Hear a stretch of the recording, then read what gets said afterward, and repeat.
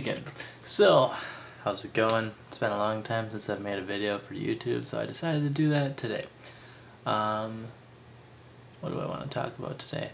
Oh, this video is in response to Peter's video, even though it's not really a response to his video, but I'm just posting it as a response to his video, so that people that watch his video also watch my video, and then when he makes his next video, he should post the response to my video, so the people that watch my videos will also watch his videos, and we'll just do that um, from now on, and basically double our viewers. Sounds like a good plan, doesn't it, Peter?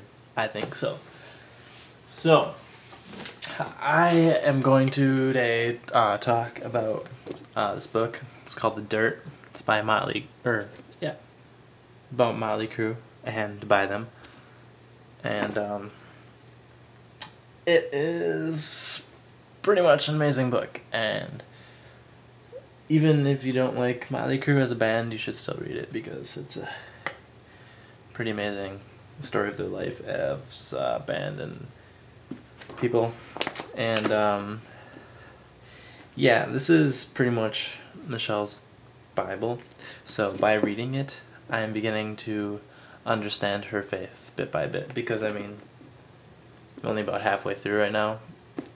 But um yeah right right there but you know day by day I'm beginning to understand more and more and it's a uh, I understand now why why she uh, why she loves this book so much. Yeah. Um, she's the one borrowing it to me, by the way. So I'm, I'm taking good care of it. Yes. Um, but yeah, that's uh, pretty much all I wanted to talk about. Yeah, just go out and uh, get this book. It's called The Dirt. Motley Crue. Um, should do it and read it. You'll enjoy it. Anyone should really enjoy it, I would think. So um, that's all for now. Peace.